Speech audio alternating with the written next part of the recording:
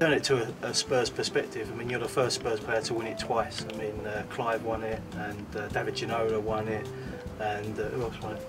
Pat Jennings. Pat Jennings won it. Can I start that question again? Yeah, yeah. From a Spurs pers- perspective, you're the. Sp- Oops, start again. Yeah. Easy to say, by the way. Perspective. It's not hard. Yeah, put Spurs before it. It's not Spurs. Oh, I like See? it. Bloopers. Right, anyway, Do it again. Okay, turn it to a Spurs angle. yeah, you gotta say perspective I'm gonna say now. I'm say it. No, you've see I'm gonna say, perspective I'm now. gonna say Spurs perspective. Okay, do it. It's not easy. From a Spurs perspective, um,